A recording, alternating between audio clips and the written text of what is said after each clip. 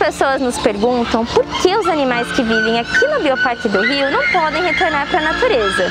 Isso acontece porque a maioria dos animais que vive aqui no Bioparque do Rio chegou por conta de uma ameaça muito grande, o tráfico de animais silvestres. E por conta disso, muitos deles não conseguem retornar para o ambiente natural.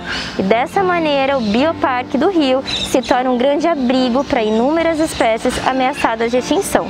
Mas você sabia que nós já levamos cutias e antas para as florestas nativas? Isso mesmo! Só que agora o desafio é outro, o desafio de reintroduzir araras canindés em uma das maiores florestas urbanas já preservadas no mundo, a Floresta Nacional da Tijuca.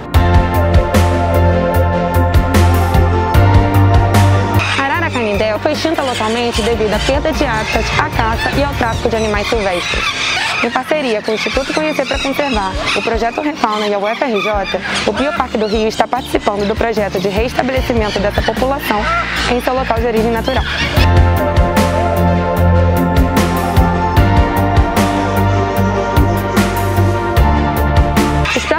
Para esse projeto de reintrodução envolve a gente conhecer os riscos que esses animais que vão ser reintroduzidos vão estar correndo e também os riscos para esse local de reintrodução. Além disso, a gente vai precisar de um projeto de educação ambiental para a comunidade local que vai estar em contato direto com essa espécie. Eles precisam ser sensibilizados para também atuarem em prol da conservação da espécie. Uma outra etapa importante desse projeto vai ser o estudo genético desses animais que vão ser reintroduzidos. Isso vai gerar dados para a gente conseguir manejar esses indivíduos de modo a manter uma população diversa geneticamente e viável a longo prazo. Para que as araras tenham o seu espaço para reproduzir, nós vamos construir ninhos e colocar em locais especialmente escolhidos para isso aqui na imersão tropical.